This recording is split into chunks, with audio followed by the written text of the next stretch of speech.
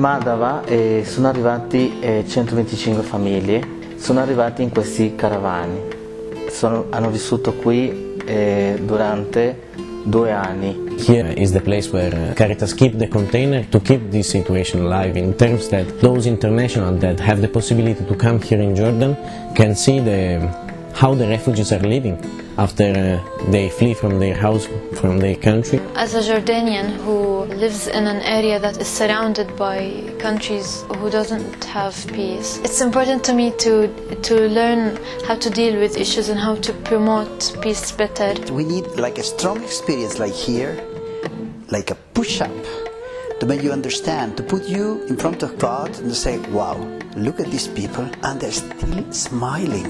Look at these refugees and still they're offering with a golden heart what they have.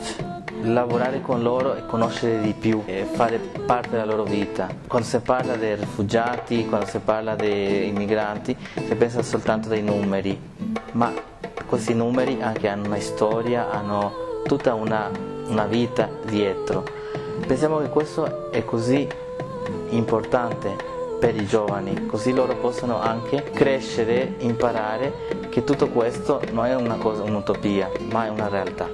I like all the projects and I like it that we do different things. We reduced their identity to refugees and I think we can only overcome this if we meet these people. I think it starts here that we come towards each other to to get to know about each other and like this also we lose the fear of each other and that's the beginning I think of peace. The things that we found is that, well, we will not be able to, to give them money, food, shelter as much as they need, but we will be able to provide our time as much as they and we need together. The topic of this year is now is the time. Now is the time to do something.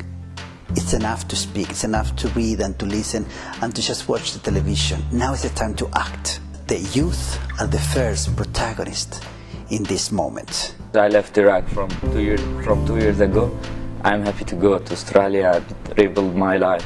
We are young. We are, we have the power to build peace with them. So we need to work with them. Simple thing will be best to give to people. I imagine that everyone is coming with a different idea about peace, a different experience, and a different expectation about peace. And we are coming here to share all these things from this sharing born a new idea of peace. Peace depends on me.